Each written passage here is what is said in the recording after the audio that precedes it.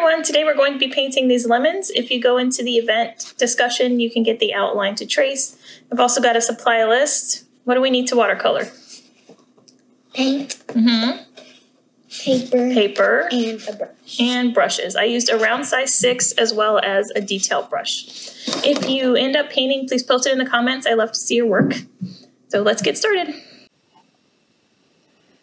So with most of our watercolor paintings, we bounce around from section to section, and this one is no different. So the first thing we're going to be doing is putting down our first layer of color on the lemons and the leaves, and then I'm going to show you how to do some negative painting here for the details, and then we'll finish off the details on the lemon.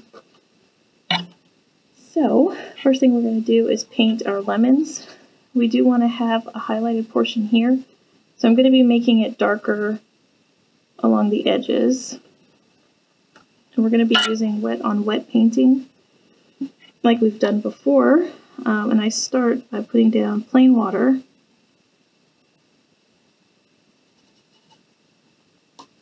and then adding the yellow paint after that. So all this can get painted with water.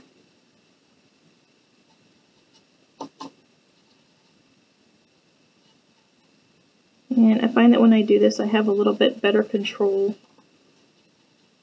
over where the paint goes and how dark certain sections are, and you don't get those hard edges. Alright. So I've got some yellow, and I'm just going to add it along this side.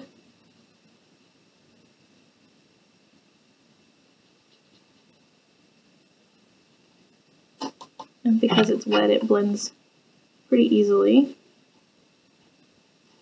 I'm leaving the space here without paint. I'm going over here and doing the same. Now some of this might bleed over here, but that's okay because we're going to make it darker later. I'll rinse off my brush.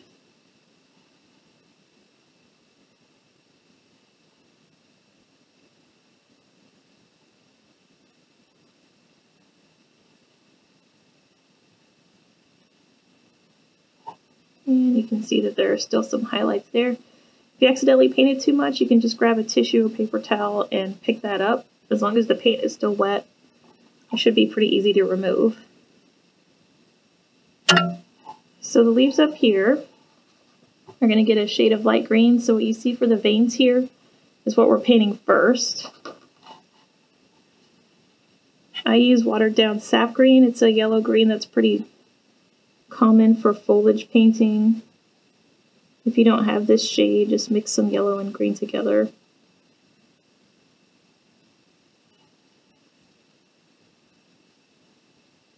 And keep in mind that the paint will dry a little bit lighter than it looks when it's wet, so if it looks too dark, you'll probably be okay.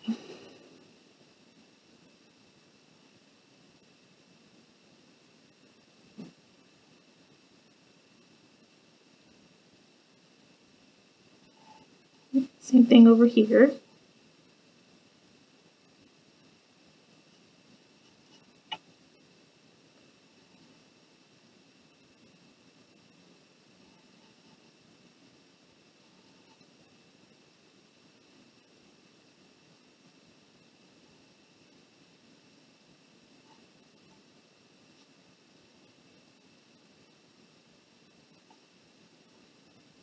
And I'm going to paint the rest of this as well.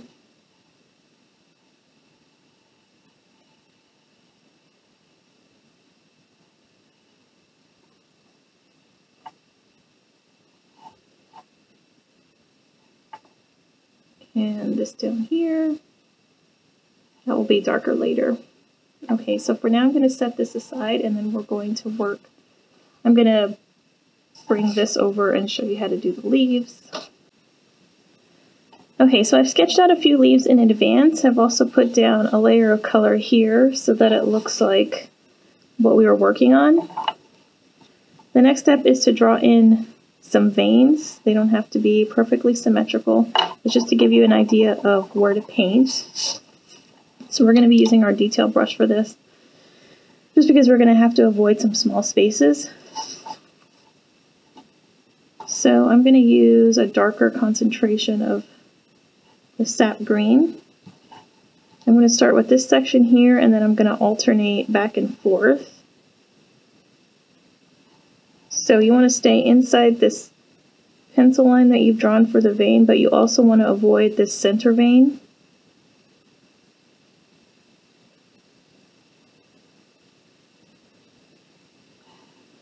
So there's the first section. You can go down the row if you want. It's a little bit easier to go back to sections when the paint is dries and I'm not as worried about the paint all running together.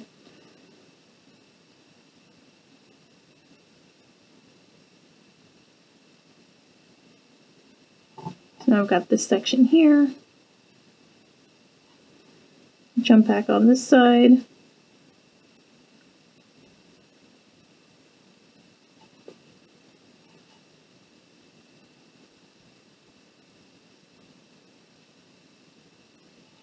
I'm still leaving that space down the middle.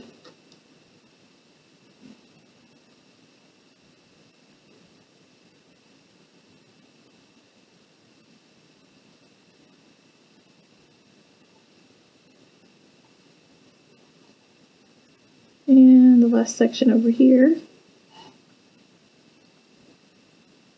So you might be able to kind of see where we're going with this. Now I'm going to jump over here so now I'm going to have to avoid this line here as well as this section. So this is where it starts to get a little bit more difficult, especially if your paint is still wet.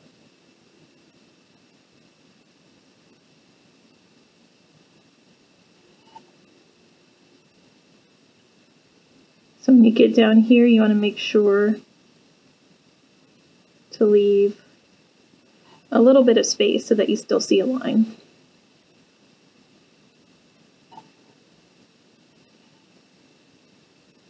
Now over here, I've got three sections to avoid. This is why I switched to this smaller brush, because the other brush would hold too much water for this type of detail. Okay, so just keep doing the same thing.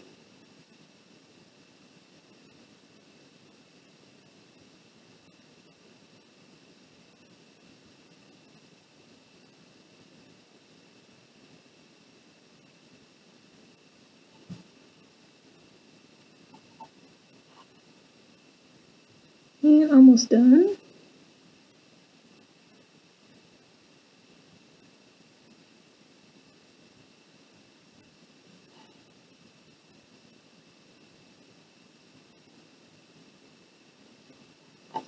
And last part is tiny.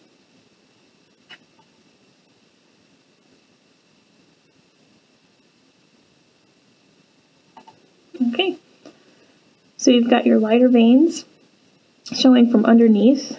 Um, it is a little bit, the lines are a little bit harsh. So I painted another one here just to show you the next step.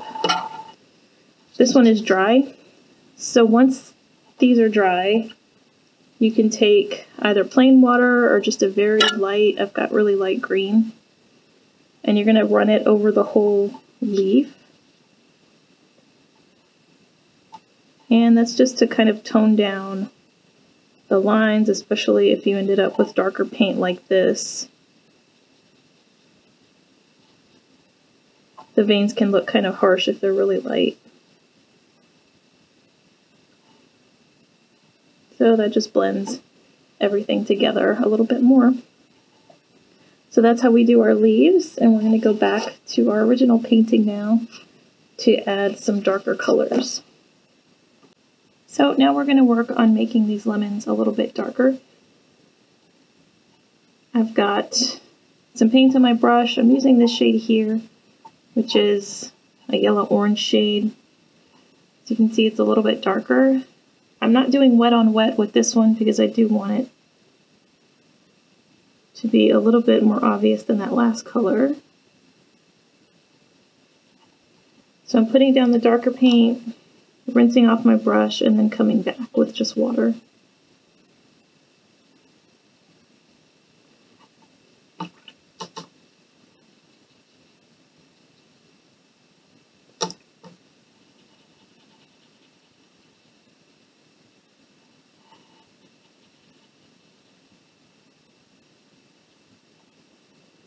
Alright, so you can see it's starting to look a little bit more like this one. Make it a little bit darker here on the bottom.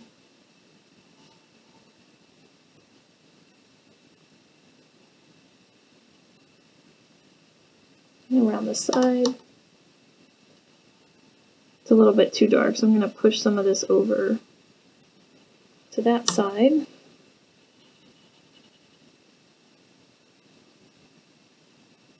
start working on this second one.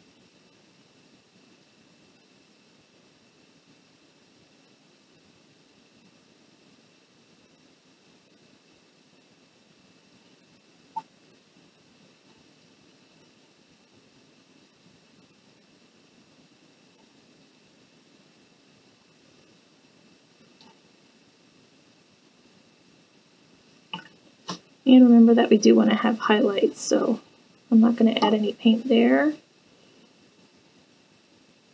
Just using my dry brush to pick some of this up.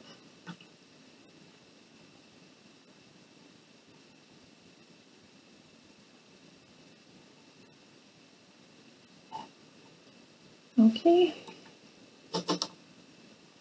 Now this paint should still be wet, so I'm going to come in with this yellow ochre, which is a yellow-brown mixture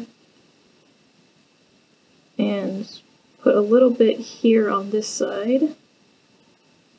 You can see it spreading out.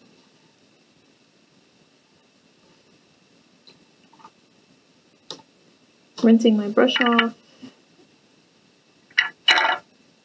and just blending that a little bit.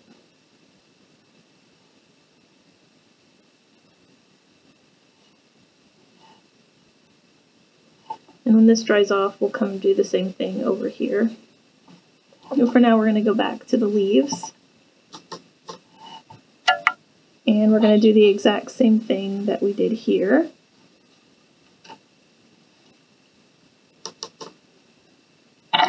Alright. So I'm only going to do that with two of the leaves because I want the others to look a little bit different. So at this point, I'm going to work on these two and speed the video a little bit, and then I'll come back to work on the lemons again.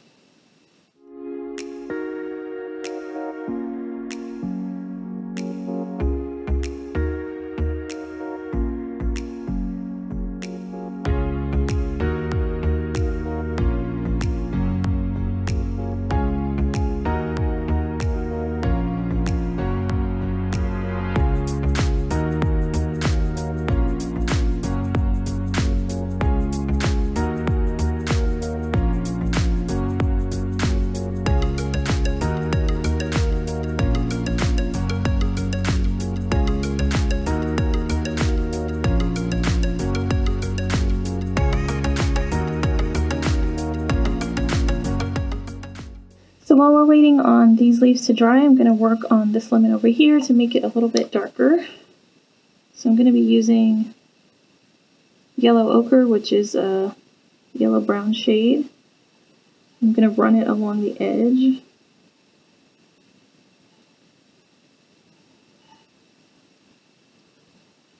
Put a little bit on the bottom, rinse my brush off, and come back with plain water.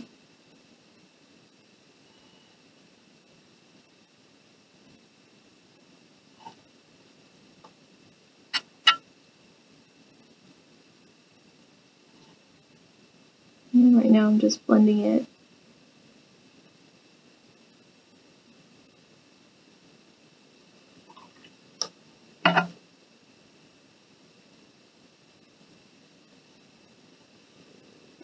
And I'm going to go ahead and get the rest of this wet just to make sure that there's not a line of color over here where the water stopped. So the whole thing is wet now. I'm going to go ahead and darken this just a little bit more.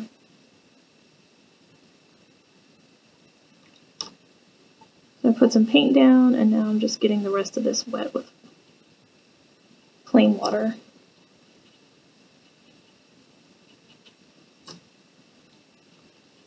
And it looks a little light here, so I'm going to add some lemon yellow. Now this is wet, so I'm going to try not to have the paint, the water here touching this edge. So almost to there, to this lemon.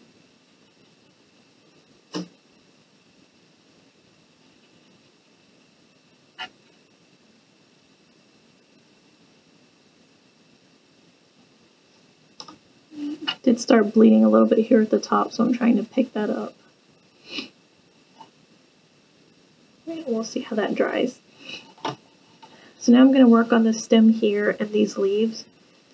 I'm not going to do the same type of painting here because I want them to look a little bit different. So for this one, I'm just going to add some dark lines. And then for this one, I'm just going to kind of darken each side. So I've got my sap green, and I'm going to run it along the bottom here. You can use your detail brush for this too. And I'm just going to draw some veins in. Like that. And then this one over here, I'm just going to darken each side.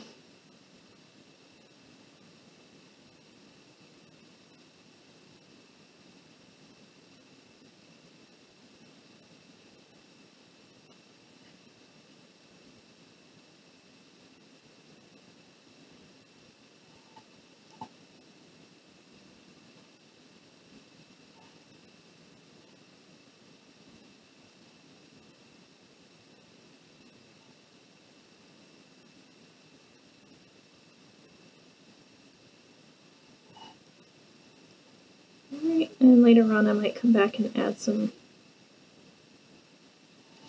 detail to that. For now, I'm going to grab my detail brush and it's dry and just pull some of the color out.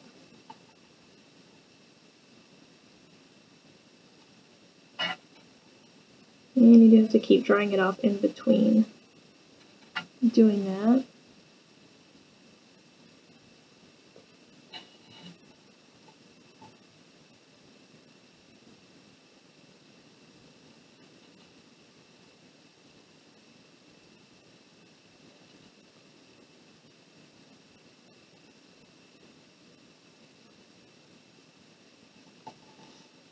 Alright, now we're going to darken this here. I'm back to my larger brush.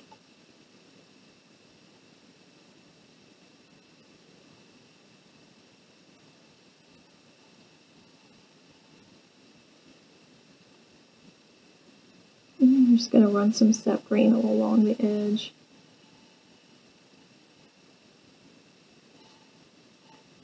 And here too.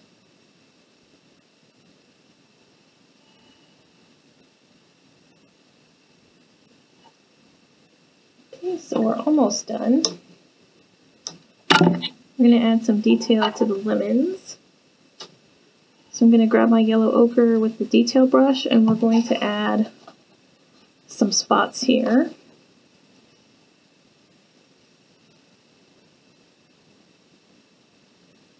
My paint is still a little bit wet, so it's spreading out.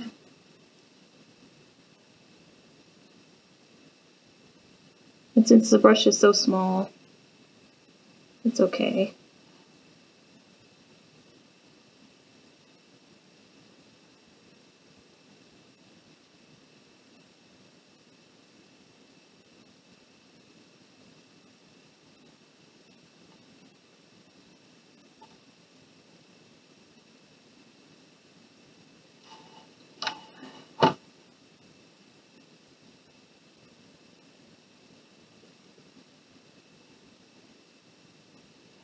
And then I'm going to add some paint here, just along the bottom edge and along the top as well. And same thing over here. Spots.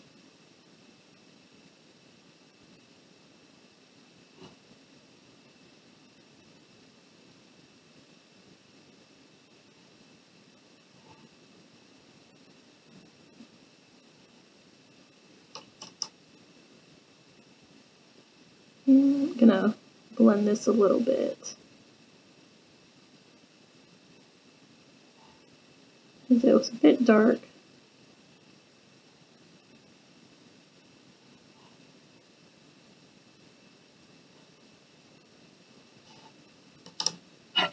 Mhm, Same thing down here.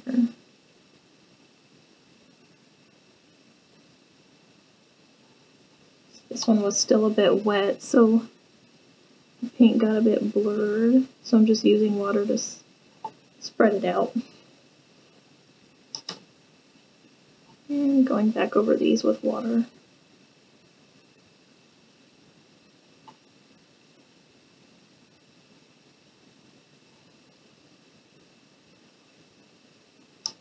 And I'm going to add some on this side as well.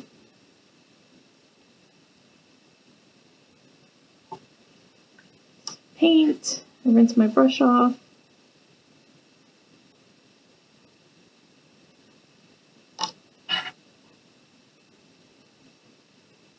And blend some of that.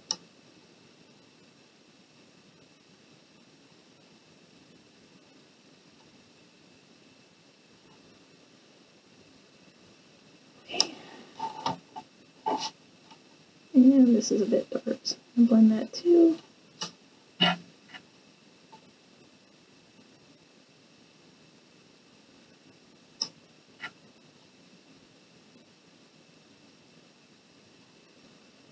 And we're going to go back up to our leaves. And we're going to add some green on top of that.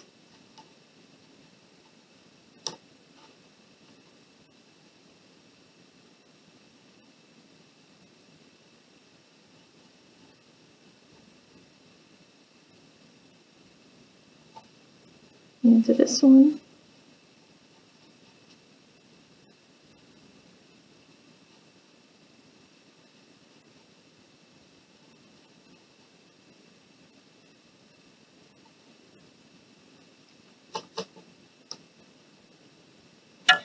I'm going to go to this leaf. Just add a bit more green.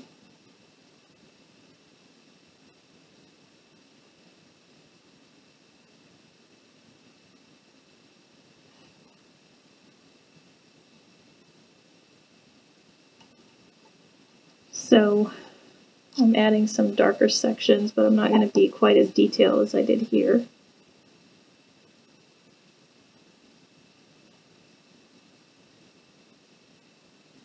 And this is still wet, so I don't want to touch that paint with a wet brush.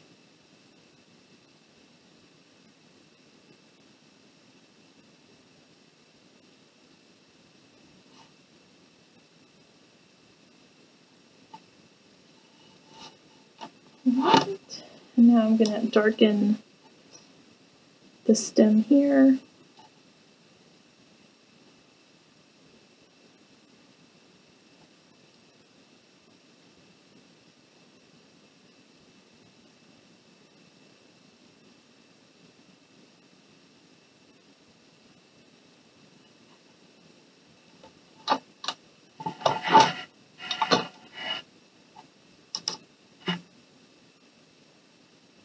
And make it a little bit darker there.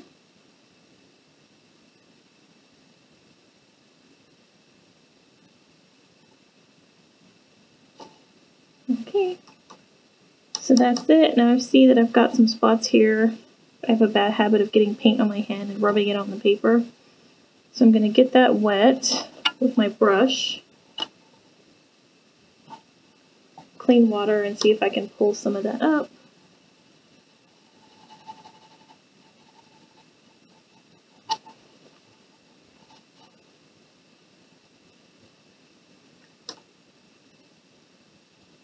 If you have a scrubber brush at home, or an old brush that you use with maybe acrylics, those work well for this. It's easier to do when your paint is wet, so if you happen to notice that you've done that, if you do it right away, it's better.